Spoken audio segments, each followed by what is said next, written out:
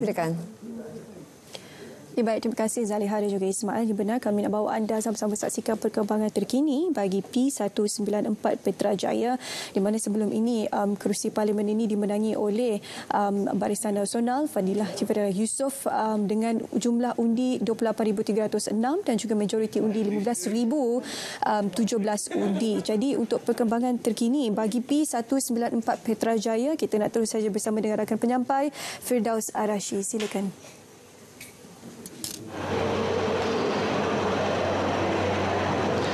Kasih rakan di Angkas Peri. Bagi perkembangan untuk Parlimen P194 Perjaya, uh, kini bakal mungkin bakal menyaksikan pertandingan tiga penjuru antara gabungan Parti Sarawak dan juga Parti Keadilan Rakyat dan juga Parti Sedar Rakyat Sarawak itu Sedar.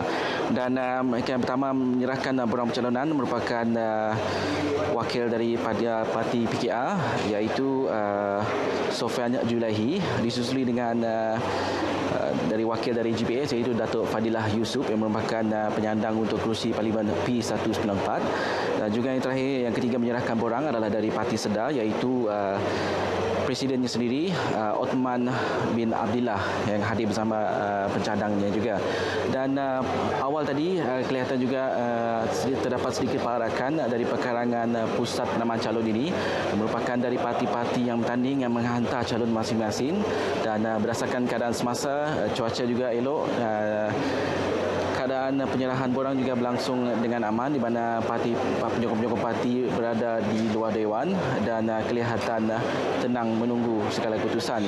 Baik, borang pencalonan telah pun uh, diserahkan kepada pengurus pilihan raya bagi P194 iaitu Pengurus pilihan di sini iaitu Tuan Haji Muhammad Khaide Abang menyerahkan borang sebentar tadi. Buat ketika ini, uh, hanya tiga calon telah menghantar borang masing-masing dan uh, keputusan muktamad akan diketahui kemudian selepas uh, calon dimuktamadkan untuk bertanding di parlimen di parlimen Perjaya ini.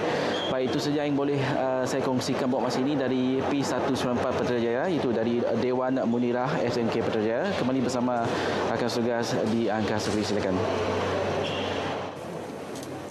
Okey, baik. Terima kasih uh, rakan penyampai Fidaus Arashi yang berkongsi berkenaan dengan P194 Petrajaya. Uh, yang pastinya uh, Datuk Seri Haji Fadilah Yusof um, akan kembali um, selaku penyandang uh, di Parlimen P194 Petrajaya ini uh, dan akan cuba menangi um, kawasan Parlimen Petrajaya ini. Kita nak berehat seketika kembali selepas ini jangan ke mana-mana ada banyak lagi lokasi lain yang kami akan bawakan uh, lintas langsungnya untuk anda semua. Kita berehat seketika kembali selepas ini.